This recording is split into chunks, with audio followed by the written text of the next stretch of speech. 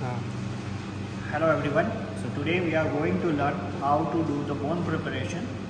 So first thing to prepare the bone is to abstract the bone. So you can see that we have abstract the femur, then we have the fibula, then we have the tibia over here.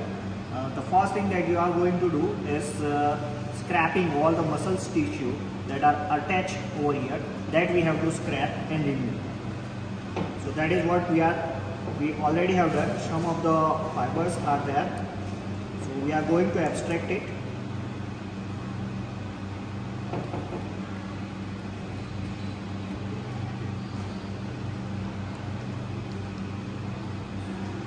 So that is how we are going to abstract uh, all this muscles tissue and clean up the bone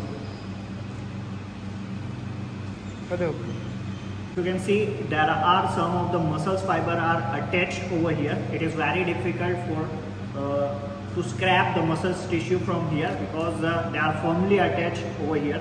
So we have used the sandpaper and we can just start scrapping so that the remaining part of the muscles tissue can be removed from here Now, what is the chemical that is required for preparing the bone is the first one. If you can see, this is the acetone with us. There is a potassium hydroxide with us and hydrogen peroxide is there with us. So the first thing that we are going to do is going to dip these bones into the potassium hydroxide solution. So let us see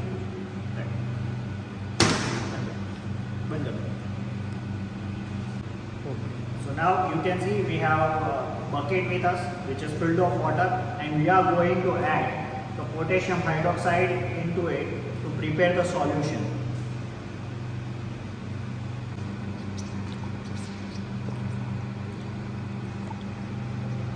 Now you can see the color consistency is uh, now becoming a white.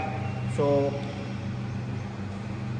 we are going to add some more potassium hydroxide into it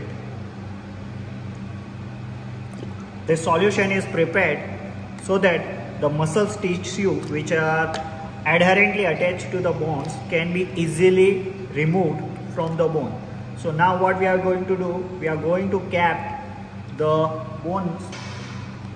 We are going to cap so we are going to cap these bones inside these solutions so that the muscles tissue that are adherently attached will lose its attachment and it will be easily removed from this area.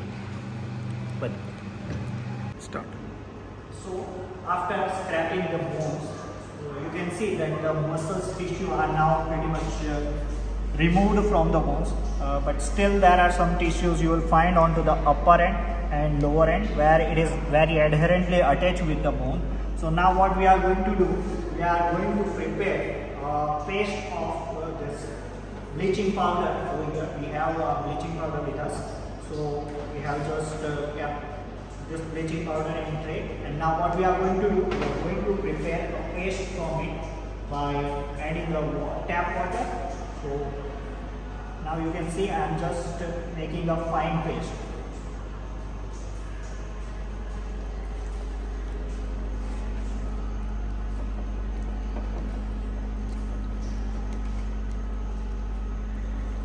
This fine paste will help us to remove uh, the muscles tissue from the upper end as well as lower end where it is adherently attached over here. So now you can see the fine paste is prepared now. So now what we are going to do, we are going to apply this fine paste onto the upper end where uh, the muscles fiber are adherently attached in its sharp part also we are going to apply the same but over here the consistency of uh, this uh, solution is uh, not that much. We are going to just apply a small amount of paste over here but in its lower end we are going to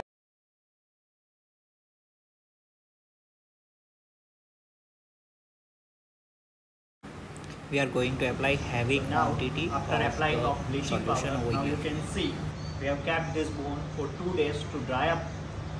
Once it get dry up you can see the consistency of this bleaching powder. With rubbing it is removing the particles are start removing. So now this is a properly uh, this bone is properly dried up. Now the next process that we are going to do is we are going to boil these bones uh, so we have uh, kept uh, vessels over here and now we are going to put it inside and uh, just allow it to boil for at least one to two hours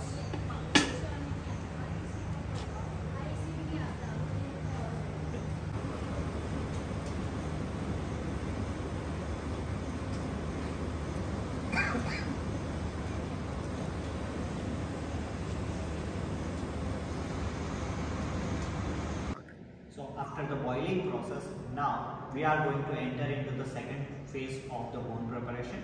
So that will be the removal of uh, the muscles tissue that is adherently attached onto the bone even after the boiling process. And for that we are going to take this sandpaper with us and what you have to do you have to take this uh, bones if you can see uh, even after boiling process this bone still has uh, some sort of adherent muscles tissue okay.